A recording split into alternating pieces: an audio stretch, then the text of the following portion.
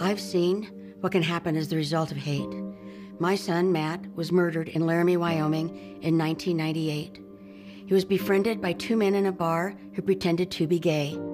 They offered him a ride home, and when he was in their car, they robbed him and beat him. They drove Matt out to the prairie and tied him to a split rail fence, then beat him some more and left him for dead.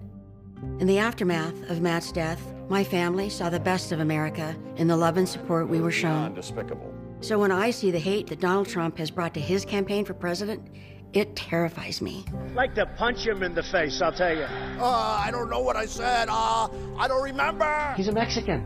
I could stand in the middle of Fifth Avenue and shoot somebody and I wouldn't. Words have an influence. Violence causes pain. Hate can rip us apart. I know what can happen as the result of hate, and Donald Trump should never be our president. Priorities USA Action is responsible for the content of this advertising.